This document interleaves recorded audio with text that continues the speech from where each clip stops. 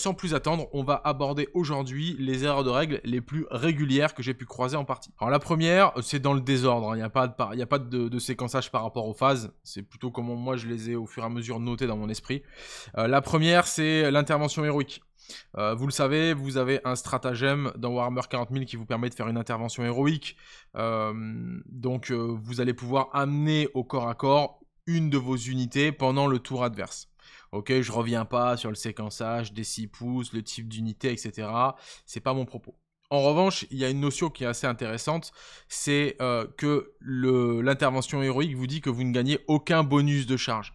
Et souvent, les gens, du coup, euh, et j'ai même encore testé, enfin j'ai même encore expérimenté la chose parce que j'ai joué il y a pas longtemps contre Hugo qui joue beaucoup et qui m'a dit qu'il bénéficie, qu'il ne, ne profitait pas de ses bonus euh, de charge euh, de, de, ses habilités particulières de World Eater lorsqu'il faisait des interventions héroïques. Donc ça, c'est une erreur de règle. Pourquoi? Parce qu'en fait, le bonus de charge, il y en a qu'un, et c'est le Fight First. Euh, c'est écrit tel quel dans les règles. En bonus de charge, euh, tel, que, tel que la sémantique le propose, le seul bonus de charge que propose le jeu, c'est le fight first. C'est-à-dire que quand vous faites une charge, du coup, vous êtes considéré dans les unités qui vont taper en premier, qui vont s'activer en priorité.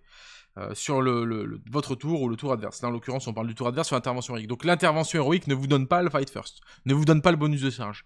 Mais le reste des habilités que vous proposent les codex ne sont pas des bonus de charge, puisque euh, vous êtes considéré comme ayant chargé, vous faites un jet de charge lorsque vous faites une intervention héroïque. Donc par exemple, lorsque je joue Blood Angel et qu'on me dit, bah, lorsque j'ai chargé, j'ai plus 2 en force et plus une attaque, lorsque je fais une intervention héroïque, je gagne ce bonus aussi. Euh, je peux activer un stratagème qui me permet d'avoir lance, parce que lance, vous le gagnez lorsque vous avez chargé. Je vous rappelle que vous faites une charge, vous êtes éligible à faire une charge lorsque vous faites une intervention héroïque. Donc vous gagnez euh, les habilités qui se déclenchent avec le trigger de la charge.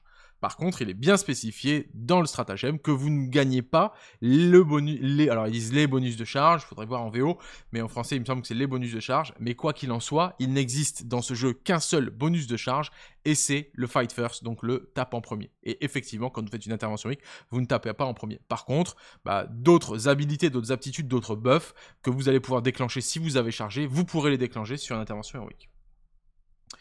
Euh, voilà pour cette première erreur de règle que je vois régulièrement. Ensuite, les aptitudes de stick euh, ou autres OT1. Euh, là, il va falloir regarder le wording. Le wording, c'est la façon dont est écrit le stratagème. Je vous rappelle que on parle très souvent de rules as written, c'est-à-dire les règles comme elles sont écrites. Et on parle des rules as inted, des règles comme elles sont entendues. Nous, ici, on n'applique que du RAW, Rules as Written, telles qu'elles sont écrites. Et après, on va dire d'autres organisateurs, notamment je pense au WTC, quand ils considèrent que la règle a été écrite plutôt dans ce sens-là, mais qu'elle a été mal écrite sur le papier, alors ils font des conventions. Mais nous, ici, on parle bien de Rules as Written, les règles telles qu'elles sont écrites. Et euh, il faut savoir que euh, vous contrôlez un objectif à la fin d'une phase. Alors, je reviens pas sur la mécanique de contrôle d'objectif, si vous avez plus de c'est que votre adversaire, etc., etc., les unités Battle Shock contrôlent pas, etc., etc. Mais quoi qu'il arrive, c'est à la fin de votre phase que vous contrôlez un objectif. Donc, lorsque vous êtes le joueur numéro 1 et que vous êtes au premier tour, eh bien, au début de votre phase de commandement ou pendant votre phase de commandement, vous ne contrôlez pas l'objectif de votre zone. Je vous dis ça parce que vous avez des mécaniques telles que euh, les Gretchen, je pense beaucoup à eux. Euh, enfin, je pense pas beaucoup à eux dans ma vie, mais là, en l'occurrence, dans le cas que je vous explique, euh, les Gretchen ont la particularité de vous faire jeter sur un 4+, enfin, sur, par objectif que vous contrôlez avec un Gretchen, vous jetez un dé sur un 4+, vous regagnez un PC. Donc ça, typiquement, lorsque vous êtes le joueur 1, je dis le joueur 1 parce qu'en gros vous commencez la partie, donc à la première phase de commandement, au début de la phase de commandement, vous ne contrôlez pas l'objectif et vous ne pouvez donc pas regagner de PC grâce à vos Gretchen. Donc là, euh, ça, ça, va me permettre, je vais le réaborder dans les erreurs de règles que je vois souvent, mais c'est le séquençage en fait. Et donc il faut bien faire attention. Par contre, si vous êtes le joueur 2, alors à votre phase de commandement, vous allez pouvoir jeter votre dé pour récupérer votre PC parce que vous avez euh, déjà passé plusieurs phases que sont celles, de votre adversaire, mais vous contrôlez pareil. et donc, si vous avez des sticks qui se font au début de votre phase de commandement, alors le joueur qui, qui joue au T1 ne stick pas l'objectif. Si c'est à la fin de votre phase de commandement ou à votre phase de mouvement. Là, même si vous êtes le joueur 1, vous pouvez stick. Donc bien faire cette nuance que, eh bien, à la toute première phase de commandement du jeu, vous ne contrôlez aucun objectif. Donc tout ce qui trigger avec le fait de contrôler un objectif avant la fin de cette première phase de commandement ne fonctionne pas.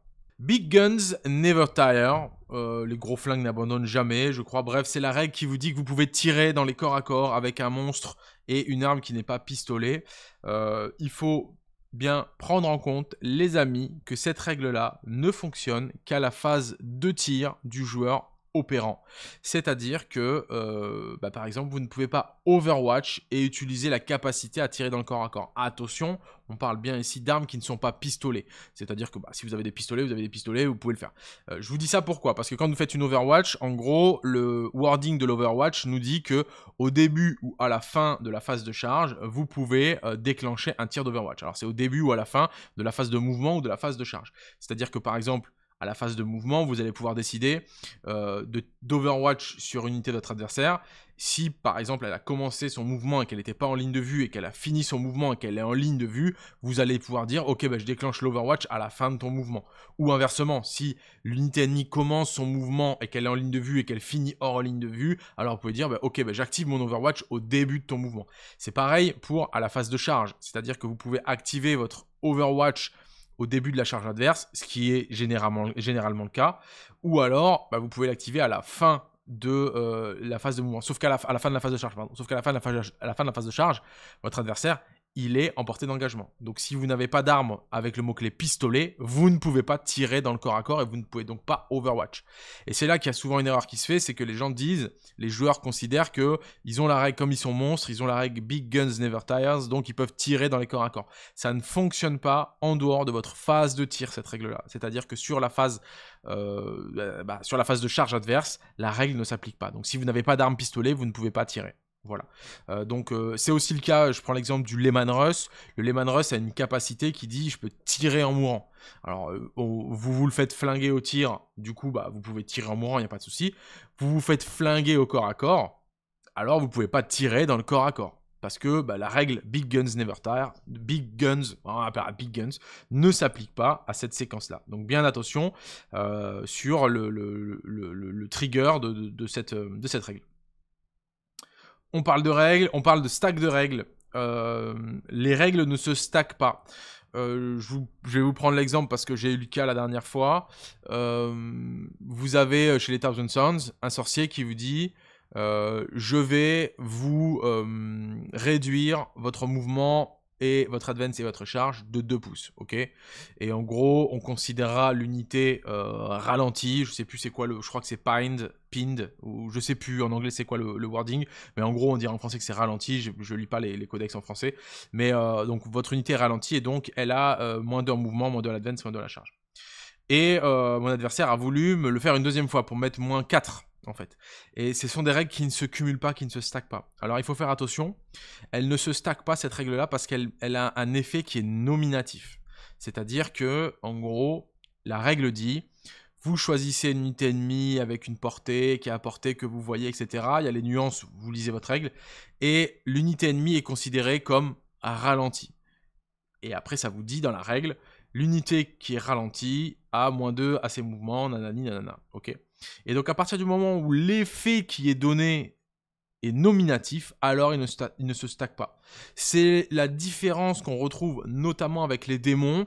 Euh, les démons, ils ont une mécanique, de ils ont une mécanique euh, avec le, le, Throne of, le Throne of Skull de mémoire, euh, qui vous dit, vous ciblez une unité ennemie avec votre Throne of Skull et les unités cornes qui tapent dessus ont plus un dégât. Et ça, en fait, ça n'a pas un effet nominatif sur l'unité ennemie.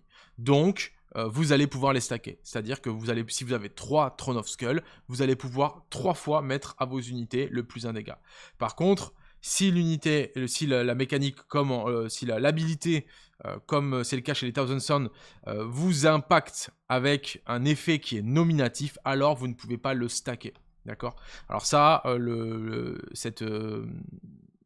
on va dire, ce système-là, il vient des rules commentary. Je sais qu'il y a peu de joueurs on va dire, non euh, ou qui sont pas dans le compétitif qui, lisent les rules commentary. Mais là, c'est vraiment le stack de règles sur le rules commentary. Et c'est très clair sur ça, c'est qu'il faut que l'effet soit nominatif. Donc par exemple, je vous prends un autre exemple, je crois que c'est les basilisques chez les l'Astra Militarum qui, vous shake qui vous secoue et du coup vous avez un malus pareil euh, au, mouvement etc donc vous ne pouvez pas stacker cet effet là euh, voilà parce que l'effet est nominatif euh, l'utilisation de stratagèmes sur de mauvaises unités, ça c'est un truc que je vois très très régulièrement. Euh, et là, malheureusement, hormis vérifier derrière votre adversaire ou vous revérifier l'utilisation de vos stratagèmes, il n'y a pas grand moyen de savoir parce que là c'est pas un cas concret. Et c'est vrai que bah, par exemple, euh, chez les Space Marines, je vais prendre le cas de la Gladius, vous avez la possibilité de faire un mouvement en réaction. Vous, pouvez, vous ne pouvez le faire que sur des unités d'infanterie. Donc par exemple sur des unités montées ou sur des véhicules, vous ne pouvez pas le faire. Et ça, si vous n'avez pas la, la mécanique, et moi je sais que je manque encore de ça parce que probablement je fais encore trop confiance à mes adversaires, euh, euh, et, si vous n'avez pas le, on va dire le réflexe d'aller vérifier avec votre adversaire la règle, de la lire avec lui, parce que votre adversaire peut faire des erreurs, parce qu'il peut lire, on lit tous un petit peu en biais et en travers, et ben dans ce cas vous pouvez vous faire avoir. Euh, donc voilà, attention sur qui est éligible à l'utilisation de stratagèmes. Des fois il y a des systèmes de keyword aussi. vous pouvez utiliser stratagèmes sur tel, tel type de mots-clés, etc., etc. Donc bien penser à vérifier les keywords, les mots-clés, etc. Et puis garder à l'esprit quand vous avez affronté un adversaire, ok, bah c'est vrai que ça, en fait, bah, il peut, il peut pas le faire, quoi. Donc, euh, donc voilà. Euh, je pense que ça, c'est une, euh, erreur de règle qui se fait très régulièrement. Euh, le peeling et la consolidation, eh bien, euh, je pense que là, euh, pour un petit peu clarifier ça, je pense qu'il faut aller sur la table de jeu et on va aller regarder ça immédiatement. Phase de peeling et phase de consolidation sont souvent des moments où les joueurs font des erreurs de jeu parce que ils ne sont pas bien au fait du, de la séquence et de la mécanique. La mécanique est plutôt simple, elle vous dit que vous devez, lorsque vous faites un mouvement de peeling, consolidation, vous rapprocher de la figurine ennemie la plus proche. On parle bien de figurine et pas d'unité. Ok, donc c'est bien modèle par modèle et c'est du coup il va falloir mesurer modèle par modèle qui est plus proche de qui. Ok, et vous devez rentrer en contact socle à socle dès que vous pouvez le faire. Partant de là, ok, si vous respectez bien ça, vous allez vite vous rendre compte que bah, souvent il y a des erreurs qui se font. Ok, donc on va partir du principe que cette unité-là de Necron, elle est rentrée en charge de ce capitaine, de ce lieutenant, de ce personnage. honnêtement, là ici ça n'a que peu d'intérêt. L'idée, c'est bien de vous présenter la mécanique géométrique. Ok, donc en gros, cette figurine-là, elle est soclée avec celle-ci, elle peut plus bouger. Là, déjà, il n'y a pas débat là-dessus. Et ensuite, on va avoir cette figurine-là, cette figurine-là. J'aimerais potentiellement taper sur cette unité-là. Ok, elle est potentiellement en portée d'engagement. Ok, celle-ci est potentiellement à portée d'engagement aussi. Donc, en vrai, on pourrait dire, euh, je pourrais peut-être faire ça ou peut-être faire ça. C'est là que la nuance va se créer, et l'erreur se fait souvent. C'est-à-dire que, quoi qu'il arrive, je dois me rapprocher de la figurine ennemie la plus proche. La figurine ennemie la plus proche, en l'occurrence, je me remets comme j'étais, c'est bien euh, cet officier Space Marines, qui est à moins de 2 pouces. Alors que lui, ici, vous voyez, il est à plus de 2 pouces, il y a un petit espace. Donc la figurine ennemie la plus proche, c'est celle-ci. Donc c'est de celle-ci que je dois me rapprocher mathématiquement. C'est-à-dire que si je fais un mouvement qui m'éloigne de celle-ci, euh, par exemple, je viens me mettre ici, Ok, j'étais à 2 pouces et maintenant je suis à plus de 2 pouces ici. Donc le mouvement, il n'est pas légitime. Donc je n'ai pas le droit de m'éloigner de cette figurine-là, c'est elle la plus proche de moi. Par contre, donc ça veut dire que lui, en l'occurrence, si je veux faire ça, eh ben je n'ai pas le droit, pour la simple et bonne raison que je viens de m'éloigner de la figurine ennemie la plus proche. Donc ça, ça m'est. Ok Par contre, cette figurine-là, si je viens me mettre ici en contact socle à socle avec les intercesseurs d'assaut, ici, je me suis bien rapproché de cette figurine-là. Donc, en l'occurrence, j'ai respecté le wording de la règle et je suis rentré en contact socle à socle dès que j'ai pu le faire. Ok? Si cette figurine-là, donc je, je, reprends mon cas de figure. Hein. Donc, lui est basé ici, lui vient de se baser là, et maintenant il me reste cette figurine-là. Cette figurine-là, elle est en contact en socle à socle avec personne, elle peut donc faire un mouvement. Ok? La figurine ennemie la plus proche, c'est celle-ci. Elle doit donc s'en rapprocher j'ai l'espace de mon socle en fait. Hein. Je suis en contact socle à socle avec ma propre figurine, donc j'ai l'espace du socle qui me sépare. Donc, en vrai, j'ai 3 pouces de mouvement. Donc si ma figurine, ok, donc ma figurine ici, elle peut ne pas bouger, et donc taper parce qu'elle est en contact socle à socle avec une, figurine qui a porté d'engagement, ça je peux le faire. Je peux aussi venir ici, c'est ça aussi qui est pas facile dans la micro, c'est qu'on fait bouger les figurines dès qu'on fait quoi que ce soit, c'est jamais pratique. Je pourrais venir aussi ici, socler, le cas échéant, ça peut être intéressant. Si par exemple, notamment, j'avais un objectif qui était juste un, objectif qui était là, j'ai un objectif qui est ici, dans quel cas je vais pouvoir venir socler ici et me mettre une patte sur l'objectif, ça je peux le faire aussi. Je suis toujours dans mon bon droit. Ici, je ne pouvais pas amener cette figurine-là en contact avec lui et éventuellement lui pour faire la cohésion d'unité parce que lui se serait mathématiquement éloigné de cette figurine-là. Et donc ça, bah, c'est interdit. Donc pensez surtout sur les phases de peeling, de consolidation, etc. La mécanique, c'est je dois, lors du peeling et de la consolidation, me rapprocher de la figurine ennemie la plus proche et euh, rentrer en contact socle à socle avec une figurine ennemie dès que je peux le faire. Ok? Donc par exemple, je ne peux pas dire, ok, je vais consolider ici, me mettre ici, euh, et, je suis content d'être heureux. Non, j'ai le mouvement pour rentrer en contact socle à socle, je dois rentrer en contact socle à socle avec la figurine ennemie. Les séquences round de bataille, début de round de bataille, fin de tour, etc., etc. Donc je vous rappelle que vous avez un début de partie, vous avez une séquence pré-game, donc euh, je choisis mes secondaires euh, fixes, tactiques, qui je mets en réserve, etc., etc. Je me déploie. Ça c'est toute la séquence pré-game. Après vous avez un début de partie, après vous avez un début de round, après vous avez un début de tour, fin de tour, début de tour, fin de tour, fin de round, et on répète, euh, on répète la mécanique. ok? La séquence, elle est importante, euh, notamment aux, égards de, certaines choses. Vous avez des, des habilités ou des aptitudes ou des mécaniques qui fonctionnent en début de round. Alors je pense par exemple au World Eater. Les World Eater, le World Eater, au début du round de bataille, il doit faire son jet de bénédiction de, de cornes. Euh, et, et, ça se fait au début du round de bataille. Donc ça veut dire qu'il doit faire ça au début du round de bataille. Et à votre phase de commandement, au début de la phase de commandement, vous allez tirer vos objectifs secondaires.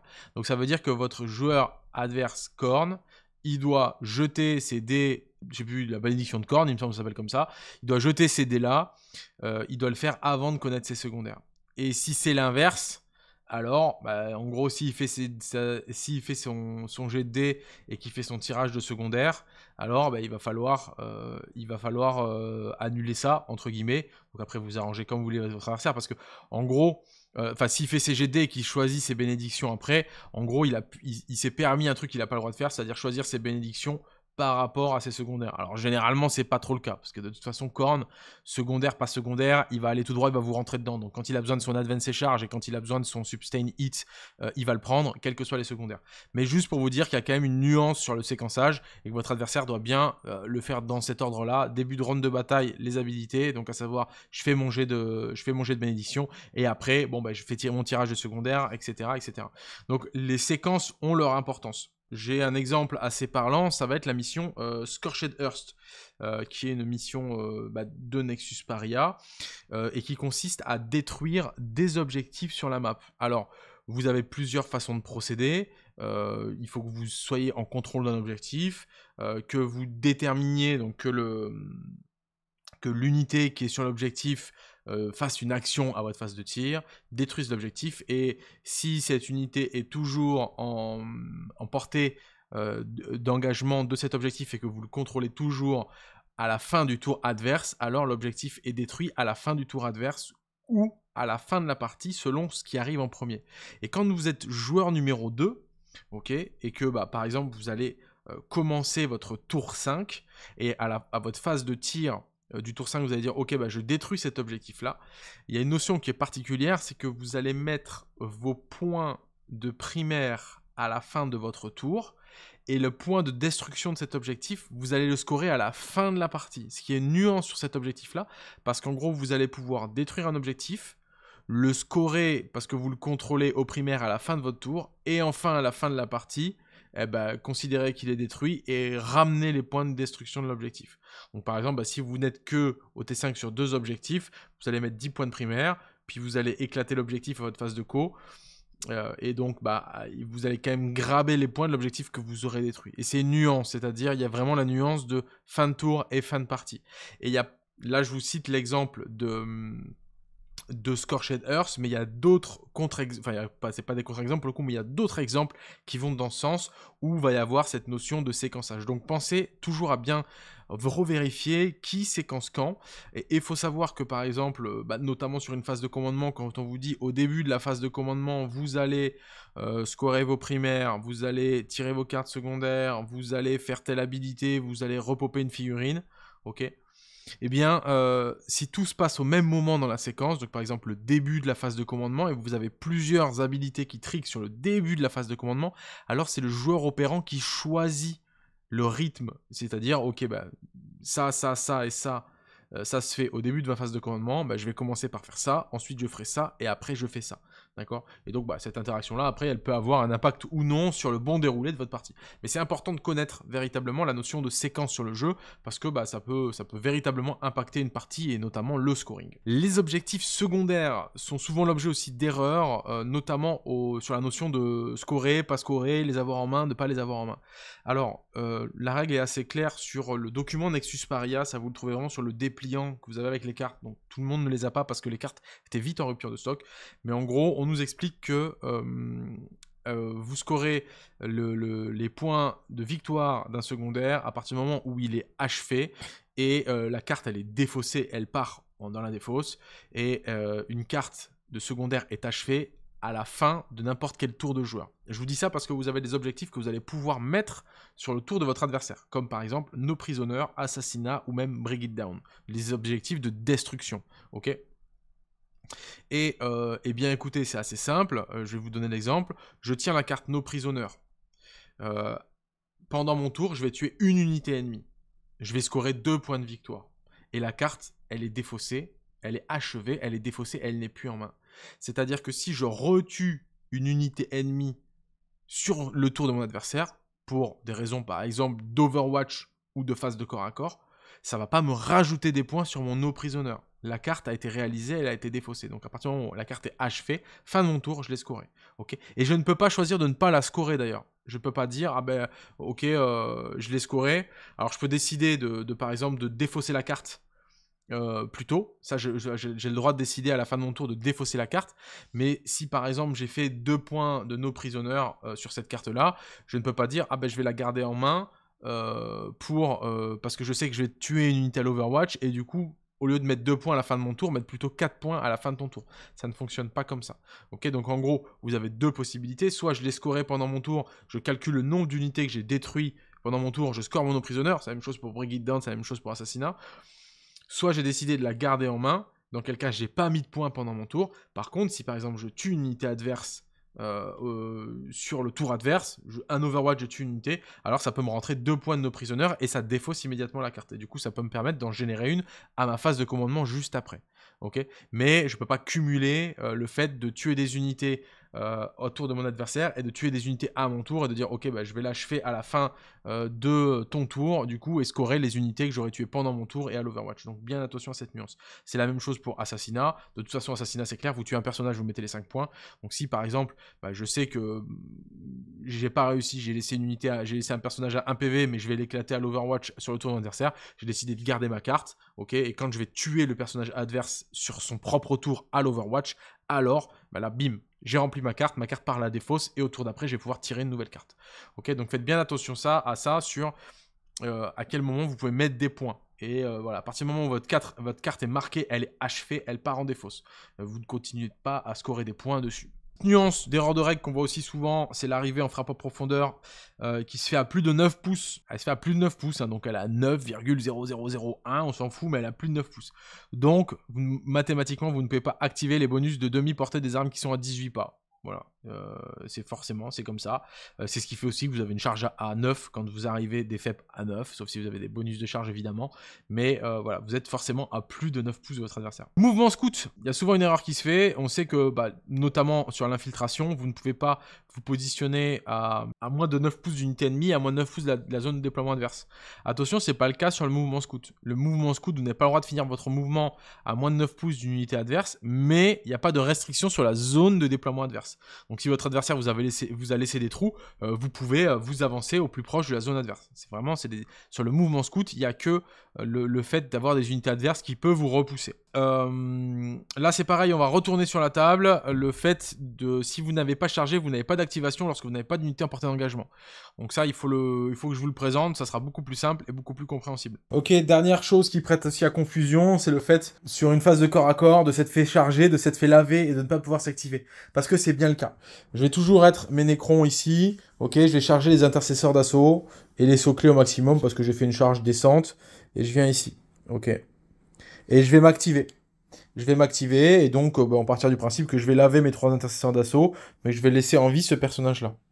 Et ben ce personnage-là, au cas où vous ne le saviez pas, il ne peut pas taper.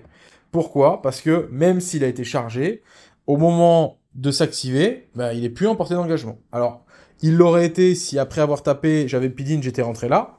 Ok? Ça peut être intéressant si par exemple c'est une figurine qui est pas ultra létale, dans quel cas je sais qu'elle va pas trop me tuer, et si mon adversaire n'a pas de désengagement et charge, ben en fait je vais me prémunir de me faire taper au prochain tour, parce que mon adversaire va pas vouloir rester au corps à corps, je vais taper en premier au prochain tour, ou alors je peux décider de rester là et mon adversaire ne va pas s'activer. Parce que pour s'activer au corps à corps, il faut soit avoir chargé, soit être en portée d'engagement d'une unité ennemie. Donc faites bien attention à la façon dont vous retirez vos pertes et vous placez vos personnages, parce que vous pouvez vraiment vous faire mettre dans le vent sur des phases de géométrie de jeu. Les habilités hors phase. Il y a des euh, habilités qui euh, n'ont d'effet que pendant les phases. Exemple le plus courant, c'est le Plague Burst Crawler, qui vous dit qu'à la phase de tir, lorsque vous touchez une unité avec votre Plague Burst Crawler, vous le faites Battle Shock. Ça ne fonctionne pas sur un Overwatch, euh, puisque l'habilité trigue bien le fait que c'est à votre phase de tir. Donc, lorsque vous faites un Overwatch avec votre Plague Burst Crawler, vous ne faites pas Battle Shock des unités adverses. Et euh, c'est le cas de beaucoup d'habilités, en vérité. Il faut faire attention parce qu'il y a beaucoup d'habilités qui ne fonctionnent que euh, dans certaines phases. On revient un petit peu à Big Gun Never Styles. Euh, c'est pareil, c'est une règle, une règle spéciale qui s'applique que à la phase de tir, donc elle a, elle a une, séquence bien précise dans le jeu. Il y a beaucoup d'habilités qui ont des séquences bien précises que dans le jeu. Voilà. Donc, donc faites attention à ça. Euh, parce que euh, parce que bah il y a, des nuances, il y a, y a, beaucoup de nuances. Donc pensez à toujours regarder si euh, si votre habilité elle trigue ou pas avec votre début de séquence ou votre fin de séquence ou autre. Voilà. Ça c'est les erreurs de règles que moi j'ai notées sur mes dernières parties. Je pense qu'il y en a d'autres qui sont on va dire génériques parce qu'après il va probablement falloir rajouter à ça les erreurs de codex, de lecture de codex, d'application de règles. Là, je vous ai parlé d'erreurs un petit peu générales. Euh, vous pouvez me mettre en commentaire de la vidéo les erreurs de règles que vous vous constatez. Et comme ça, à la limite, ça pourra faire l'objet d'un deuxième compendium avec les règles que vous, vous avez proposées. Comme ça, on fera une... Euh, bah, on essaie d'en faire profiter tout le monde, en fait. Là, l'idée pour moi, à travers cette vidéo-là, c'est vraiment de désamorcer ce qui me paraît être une des choses les plus frustrantes dans le jeu, c'est de gagner ou perdre une partie sur une erreur de règle. Euh, et ça, bah c'est pas, cool quoi. Donc, euh, donc l'idée c'est bah, de, à travers ces vidéos là, bah, de vous partager un maximum les, retours et puis, euh, et puis bah, que ça soit profitable à tout le monde. Donc n'hésitez pas à liker, à commenter la vidéo pour qu'un maximum de monde la voit. N'hésitez pas à la partager dans vos groupes de joueurs aussi parce que ça, ça fait plaisir. Voilà, je vous dis à très bientôt pour de nouvelles vidéos sur Creative Wargame. Ciao, ciao les seigneurs de guerre.